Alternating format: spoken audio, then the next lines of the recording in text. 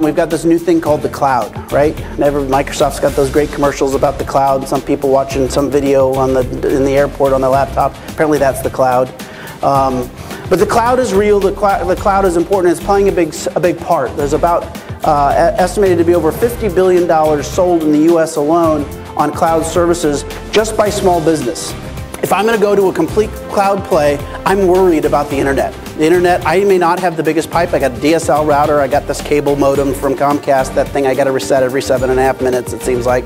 And I don't have, if something happens, if a big yellow machine comes out and starts digging up the sidewalk and all of a sudden my internet goes down, do I send all my employees home? What do I do if I've deployed to the cloud entirely and the internet is not as broad or as big or as, as broad a pipe as I need or that it, it goes down? How do I, how do I survive? Data security. So I guess some people use the derogatory term of, of, server huggers. So we all know them. We have our business customers who we talk about, well, wouldn't you like to move this to the cloud? No. I heard that the cloud is unreliable. People can get access to it. People hack Sony all the time.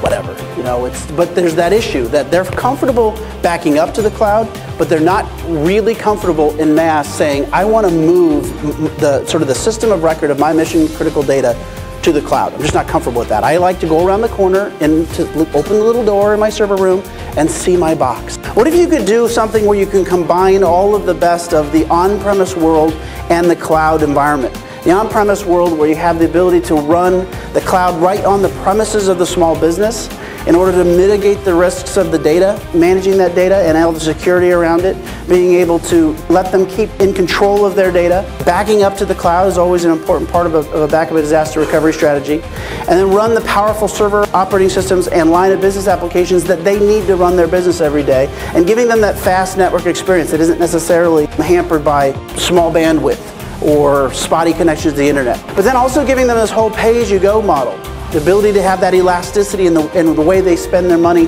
for IT. And then again, letting the IT professionals handle their IT environment.